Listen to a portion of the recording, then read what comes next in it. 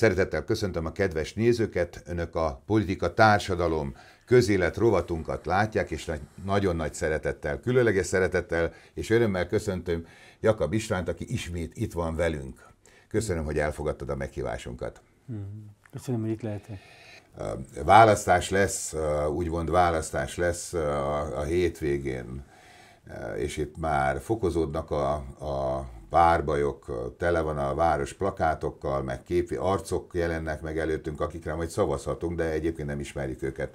Ugye itt egy nagyon jó címet kerestünk, hogy mi legyen az adás címe, és ugye mit nyernek a magyarok a választásokon, és a kedves kolléganőnk Ági kisegített, hogy mit nyelünk. Mit nyelünk? Mit nyelünk a választások kapcsán, mert több ezer éve nyelünk egyfolytában, ugye. Látni kell, hogy igazából azt, amit úgy hívnak, hogy népszuverenitás, amikor egy nép meg tudja magát védeni a hatalommal szemben, na most ezt nem nyerjük meg.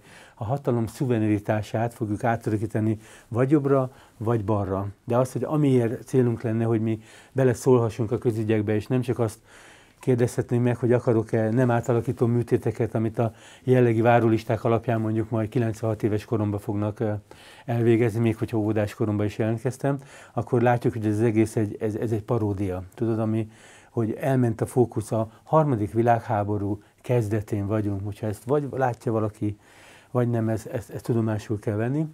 Azt mondta valaki, Montesquieu, hogy a háborúhoz három dolog kell, pénz, pénz, meg pénz. És ugye ezt, ezt nagyon megtanulták a túloldalon is, hogyha a dollár tönkre tudják tenni, akkor az egész dolog összeomlik. És itt figyeljük az eseményeket, amikor Szaúd-Arábia elkezd petrodollár helyett juánba kereskedni, olajat ad el Kínának, abban a pillanatban ez az egész hegemónia összedőlt. De azt mondjuk, hogyha megyünk előre, ha előre megyünk, szakadék.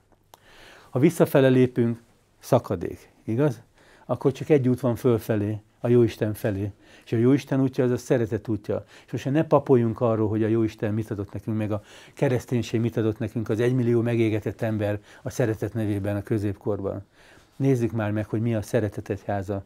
És mi, Jézus második eljövetele, az így fog bekövetkezni, hogy van még rá időnk, hogy az emberekben óriási változás lesz az ébredésben. Én, én ezt hittel vallom, mert egyszerűen nincs más, nem vagyunk erősek katonáknak. Akkor megölsz valakit, annak a, az unokája visszajön és téged megöl. És ez, erről szól a történelmünk, nem így van? És ezen nem tudunk változtatni, ébredjünk emberek. Nem az az út, hogy gyűlölkedjünk meg, háborút küldjünk. Nem tudom a putyini gondolatokban hol van ez a szeretetelv, ő most le akar számolni a háttérhatalommal, és le fog le fog számolni vele. Tehát ebben biztosak vagyunk, tehát nem biztos, hogy most jó oldalra állnánk, hogyha ha a vesztesek oldalra állnának megint.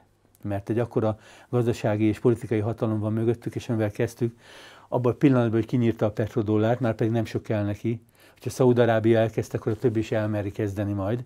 Rubelért lehet fizetni nála a cuccokat? Igen, de mondom, a Yuan is belépett a piacra, és ott van mögött az aranyfedezet. Oroszországnak van a második legnagyobb aranyfedezete Kína után, és folyamatosan a, a, a bányai ontják az aranyat, amit most már évek óta nem ad el a nyugatnak. Tehát ez, ez, ezeket oda kellett volna figyelni ezekre a dolgokra. Beszéljünk a te pénzügyi dolgaidról. Ahogy gondolod, bár ez az előbbi mondatok olyan szépek voltak, ez a előszakadék, hátulszakadék, egy út van csak, most már vegyük észre felfelé.